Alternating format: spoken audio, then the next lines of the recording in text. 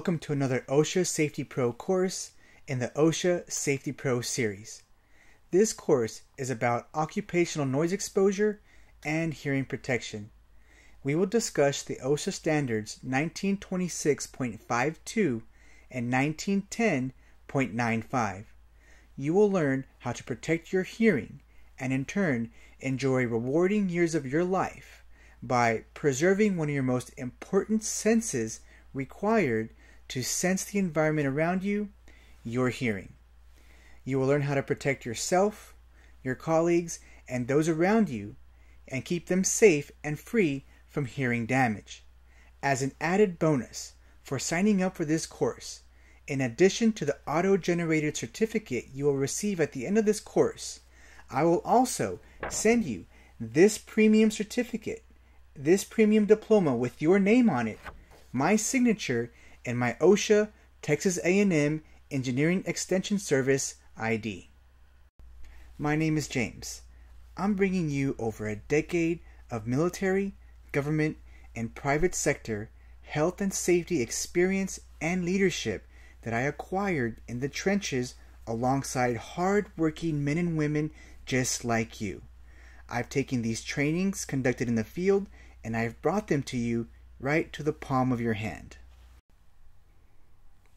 Use this course as you see fit. It's yours to do whatever you like with it once enrolled. Enroll your employees in it to maintain job compliance. Print up the slides and use them for trainings out in the field. Or use it to acquire compliance for a regulation or requirement for an upcoming contract. What you can also do is enroll one time and play this ugly mug in a conference room full of employees or out in the field for all your workers and certify everybody at once. Maybe you want to earn more. Maybe you want to level up on the job. Go for it. Use the skills from this course to impress management, colleagues, and even a potential client. Use the resources that I'm going to give you to be a safety leader and asset at your place of business. The teaching method for this course is designed to be quick and effective with your busy schedule in mind. Designed to be taken anywhere, whether it's in the comfort of your own home or on the tailgate of your work truck, without sacrificing the valuable content and quality required to keep you and those around you safe and returning home from work in the same manner, if not better, than when you left. The method is great when needing job compliance or for an upcoming job interview. This will be a great bullet to assist you in shining out above other applicants. In this course, we will cover the OSHA standard, identify dangerously loud and damaging noise environments, how to protect your hearing, types of hearing protection, and I will give you a solid noise exposure and hearing protection program. The ideal motivated student for this course is anybody involved in the general or construction industries, anyone who works in public safety, underground or above ground utilities, who works for a city or municipality. It's also for anybody who has a career in safety or is a safety leader at their place of work or business. It's also designed for anybody who wishes to level up their current safety career. Maybe you want to use this course to start a new career or expand a current skill set. Either way, you're in the right place. Thank you so much for considering taking this course. I want you now to be the hero. This is your time to shine. A real hero saves lives by saving people the pain and suffering that results from accidents ever happening in the first place. Now is your time to shine level up. Be that hero through prevention.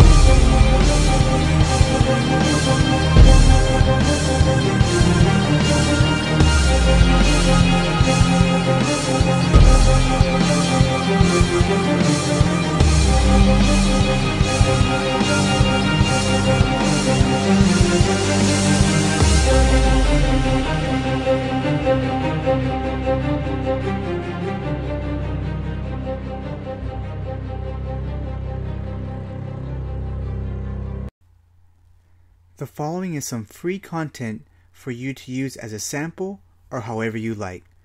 Please forgive my rough videography. I'm not the best at it only because I belong out in the field with people like you, out in the trenches, getting it done. Enjoy! Our places of business and work can be dangerous environments. A safe condition can turn on us and instantly become dangerous in a second. We need our senses and our intellect to sense when the environment around us is starting to turn against us. We need to process that environment and pick up on when something is about to go wrong. Or we need our senses and our hearing to spring into action when somebody else needs our assistance. We need our senses and our hearing and our sight to identify hazards. We are carefully created human beings with intellects and minds and senses that we need to use to provide for our families. We expose ourselves to conditions that oftentimes seem very docile and harmless, but they are hurting us. They cause us to instill a sense of complacency within ourselves that we've done it this way the whole time for always and we're just going to keep on doing it. Yet, with unbeknownst to ourselves, we just keep on hurting us. And by not maintaining that level of awareness that our senses provide, we are in turn hurting our families because our families depend on us. This course teaches you to use your hearing to sense when a safe environment has now become dangerous. You will learn when a sound level within an environment becomes damaging to your hearing. We'll learn what professions are at risk. We will also learn how to protect ourselves against dangerous noise levels. We're going to study the hierarchy of safety and protection. We will also look at what makes a good, solid hearing protection program. Use this course to shine. Take the resources I'm going to give you and take them to your management, take them to your place of business, and set up or establish a hearing protection program with this course. If one already exists, use this course and its resources to enhance or build upon that course that already exists. You're going to impress somebody. This is where I'm calling on you to be a hero. And I know that sounds somewhat cheesy. But a real hero isn't somebody that jumps out of the sky wearing pajamas after all this pain and suffering has already take place, taken place. A real hero prevents anyone from ever having to endure that pain and suffering in the, in the first place. And that is what I'm calling you to be.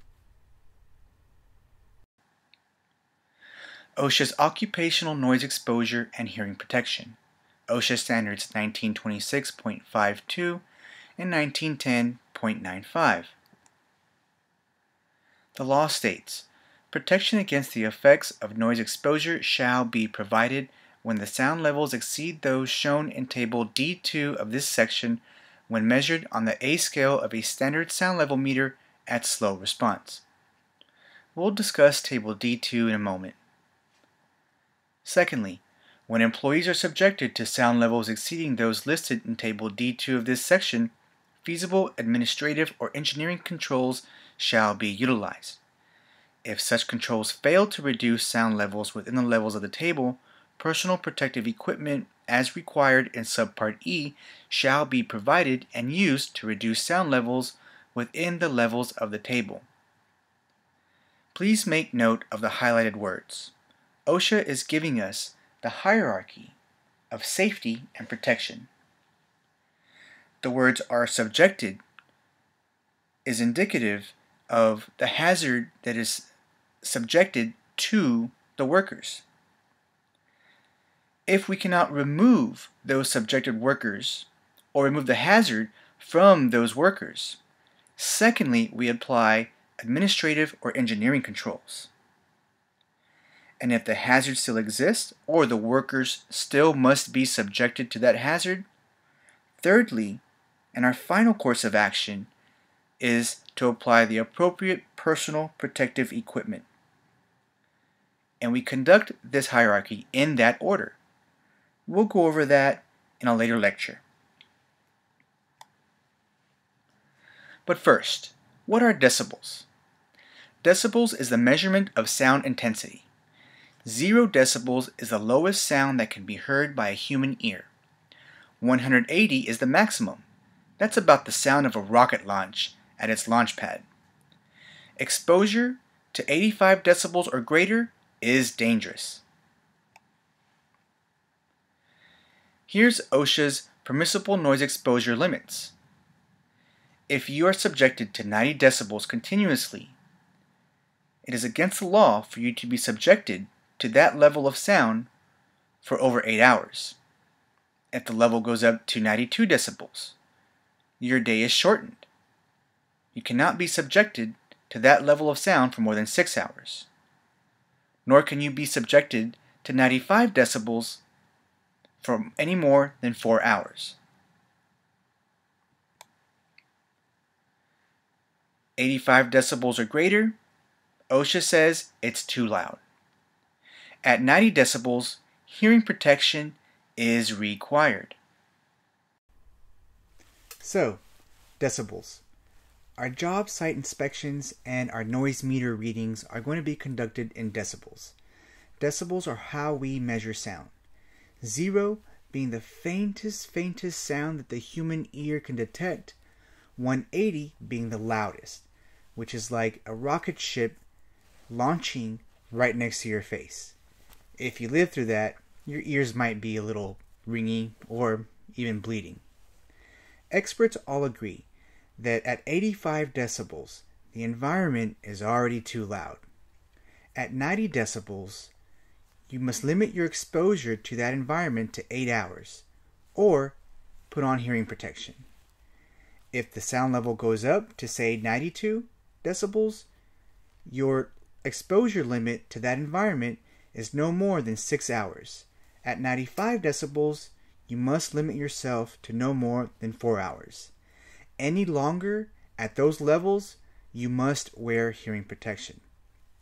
In regards to that hierarchy that we discussed in the previous slides, remember, if we are subjected to a hazard, first and foremost, we want to see an attempt to remove ourselves from that hazard or remove the hazard from us. Secondly, if we still must subject ourselves to that hazard, we apply administrative controls or rules or engineering measures to limit our exposure or limit the exposure to us. If we still must be exposed to that hazard after removing or if we cannot remove ourselves from the hazard or the hazard from us or applying administrative and engineering controls, then, thirdly, we apply the appropriate personal protective equipment. In a nutshell, something easy to remember is that at 85 decibels, it's already too loud. At 90 decibels, hearing protection is required. If we don't carry a noise meter around our back pocket, how do we tell, using our faculties and senses, that the environment in which we're working in is hurting our hearing. Let's take a look. You may hear ringing or humming in your ears when you leave work. Or you have to shout to be heard by a coworker an arm's length away. You may also experience temporary hearing loss when leaving work. So, a really quick, simple on the job hearing test. If your coworker needs to shout for you to hear him at arm's distance, the job site may be too loud and you are at risk of hearing loss. Or quite simply, if you have to raise your voice or shout to be heard in the environment, the job site and the environment that you're working in is too loud and you need to be wearing hearing protection.